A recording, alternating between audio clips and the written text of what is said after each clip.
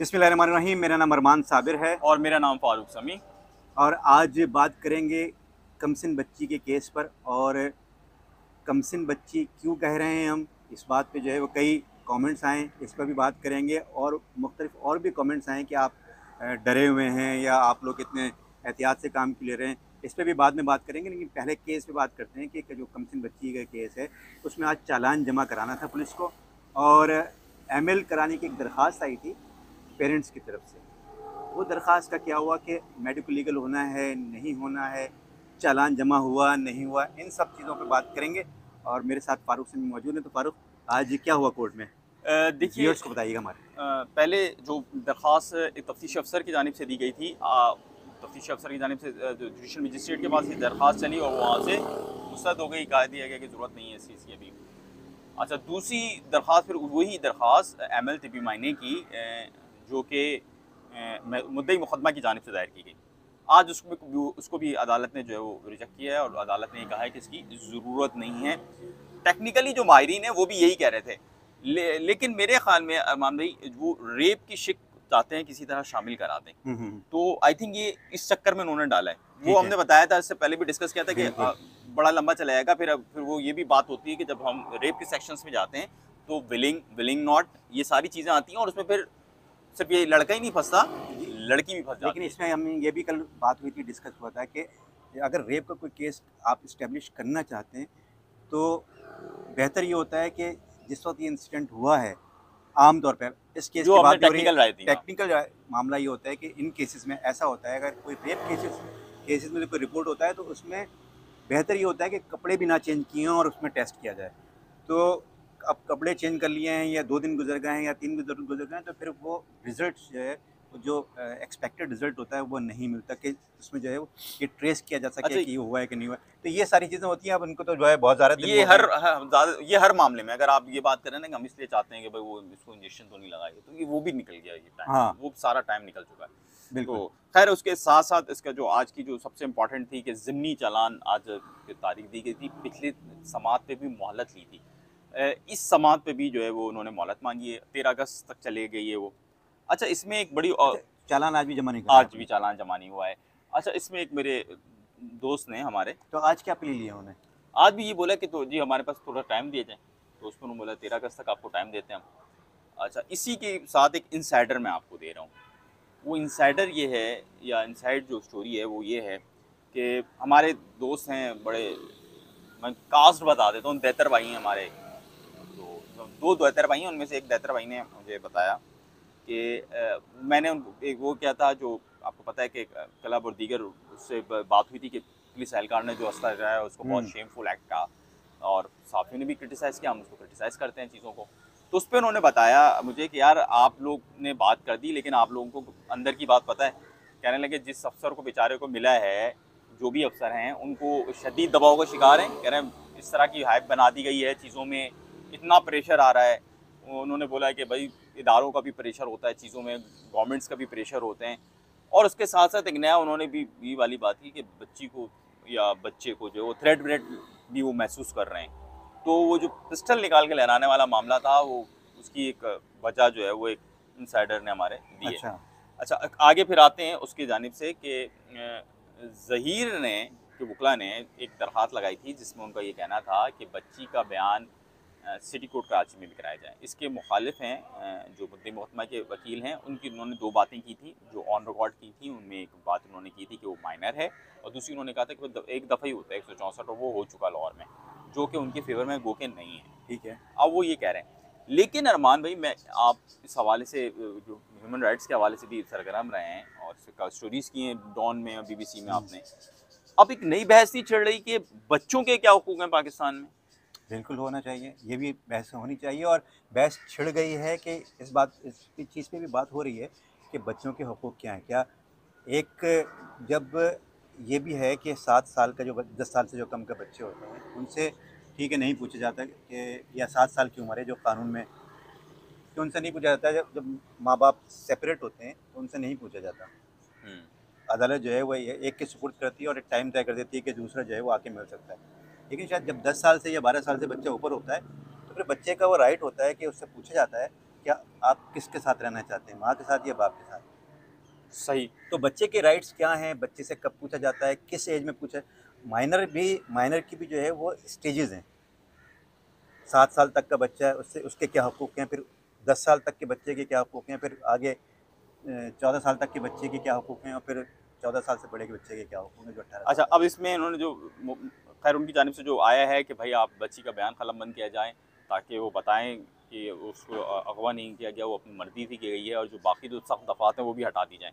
इसी तरह तो उसमें जो है वो उन्होंने कॉपीज़ फराम हो गई हैं मुद्दे मुकदमा के वकील को कॉपी दे दी गई है और आप फंस क्यों रहे मुद्दे मुकदमा के वकील के नाम कुछ नहीं आप मुद्दे मुकदमा के वकील को जो है वो कर दिया गया है कॉपी दे दी गई इसी तरह सरकारी वकील को यानी सरकारी डिपार्टमेंट में जमा हो गई और इसके साथ तफ्तीशी अफसर सबको दे दी गई हैं इसके हम्म। ऊपर बहस होगी तेरह अगस्त को हम्म। और दलाइल देंगे और उस दलाइल की बुनियाद पर फिर ये तय पाएगा कि भाई आगे किसको किस तरह चलाया जाएगा या ये कबूल होती है या नहीं होती है तो ये थी जो हमारे कराची से पसंद की शादी के लिए जाने वाली लड़की जो जो केस है उस हवाले से ये आज की जो अपडेट्स थी।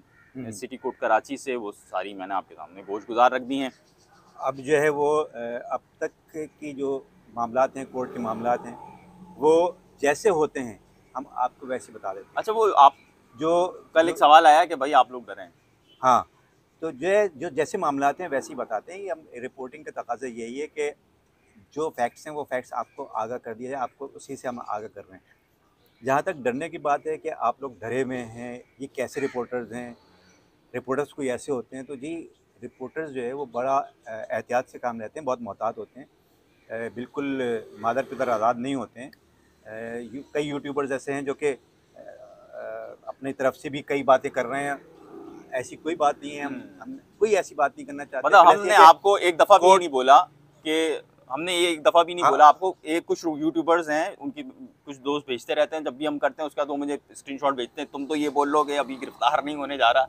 और ये हो गया मैंने कहा गिरफ़्तार भी होगा मैं अभी कह रहा हूँ सही देखिए कल कल जो है वो हमने अपने ब्लॉग में कहा था कि चालान हो सकता है पुलिस पेश ना करे मज़ीद वक्त लेगी। ये कल के व्लॉग में हमने पहले ही बता दिया था क्योंकि पुलिस इन्वेस्टिगेशन जो है वो अभी तक कंप्लीट नहीं हुई थी वो अब ज़ाहिर हमारे भी सोर्सेज होते हैं जब ये सुप्रीम कोर्ट गए आज जो है वो उन्होंने दोबारा वक्त मांगा जब सुप्रीम कोर्ट गए थे तो बहुत से दोस्तों ने चलाया था उसमें उनका मैं उस पर बात नहीं कर रहा क्रिटिसाइज मैं एक बात बता रहा हूँ कि एक रिपोर्टर्स के अंदर और एक रिपोर्टर को एक रिपोर्टर की तरह अगर बयान कर रहा है तो उसमें फ़र्क हो गया।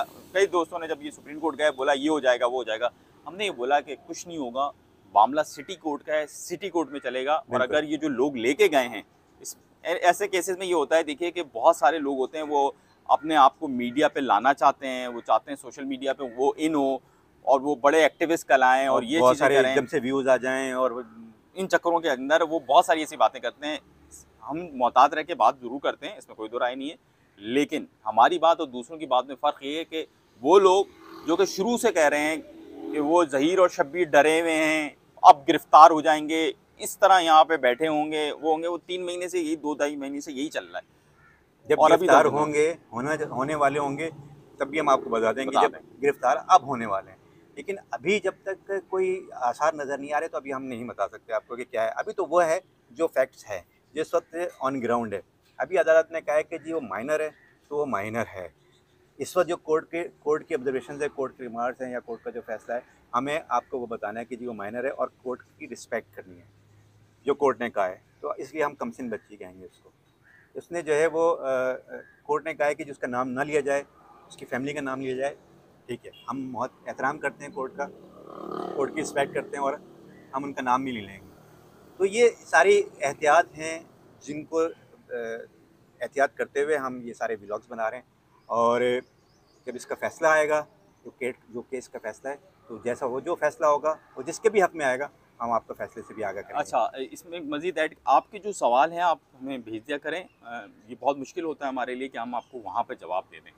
लेकिन हम, अगर आप आपका हमें महसूस हुआ कि वाकई में इस सवाल का जवाब वैसे तो आप सारे हमारे लिए बहुत काबिल एहतराम हैं, लेकिन अगर हमें महसूस हो यार, नहीं, इसका जवाब हमें लाजमी देना है तो हम रोज़ ज़रूर जवाब देंगे आपको। और एक और एक मेरे पास दो से तीन सवाल आए हैं वो इनबॉक्स में कि भाई आप ये बताएँ यहाँ पे कोई, क्योंकि आप क्लब के ज़िम्मेदार हैं तो क्लब में कोई एक्टिविटीज़ इस तरह की हो रही हैं। तो जी, क्लब के ज़िम्मेदार हैं तो ज़ाहिर बात है, फिर हम कुछ इस तरह क्लब के हवाले से मुतालिक जो प्रोसीडिंग्स जितनी भी होंगी उसके हवाले से बात नहीं कर सकते। लेकिन क्लब अगर कोई बयान जारी करेगा तो वो आप को हम सब सबसे पहले पहुँचा देंगे ये बात हम आपको बता रहे हैं। और जो भी बात अभी अगर कोई बात प्रोसेस में भी होती है तो वो उस पर कोई राय अभी नहीं दी जा सकती है। क्लब में इस तरह की कोई एक्टिविटीज़ अगर होगी तो उससे बिल्कुल आपको आगाह करेंगे। अगर आपको वो आगाह करने वाले नोटिस तो नोटिस हुए थे और ये जो चीज़ें हुई थी ना लोग चाह रहे थे कि हम उसके ऊपर खुल के बात करें। वो अभी, बहुत सारी अभी बहुत सारी चीज़ें हाँ। बहुत सारी चीज़ें पाइपलाइन में उस पर भी हम बात नहीं कर सकते हैं क्योंकि उन पर बात करने से उस, उस पर वो चीज़ें असरअंदाज होंगी और वो फिर मामला जो है वो कहीं के कहीं निकल जाते हैं। अभी किसी लेकिन आपको में हम आपको देंगे। आपको देंगे बताएँगे कि क्या हुआ है क्या नहीं हो रहा है और क्योंकि इंटरनली पर्दा क्या हुआ हाँ, है इंटरनली जो है ये नोटिस कैसे आया है किस तरह से हुआ है ये सारी चीज़ें आपसे आपको क्योंकि आप कॉन्फिडेंस भी लेंगे इस पर और ये बहुत ज़रूरी भी है।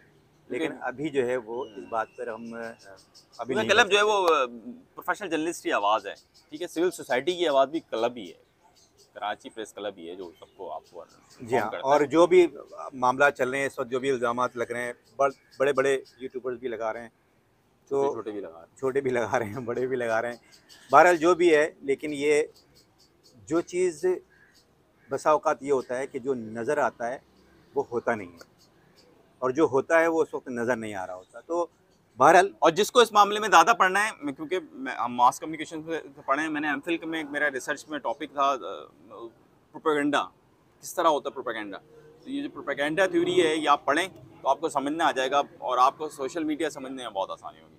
हमारी चिटचैट का अंदाज़ कैसा लगता है ये भी बताइएगा क्योंकि हम बहुत इन्फॉर्मल बात करते हैं आपसे तो आप ज़रूर बताइएगा अपने कमेंट में कि आज का व्लॉग आपको कैसा लगा। और वीडियो को लाइक कीजिएगा शेयर कीजिएगा।